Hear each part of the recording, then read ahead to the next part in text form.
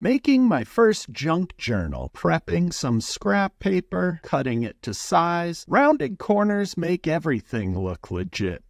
I think you're supposed to use a bone folder here, but a spoon is gonna have to do. Punch some holes in the thing, and I like the vibe of this baker's twine. Finish it up with a nice tight knot, and that's how I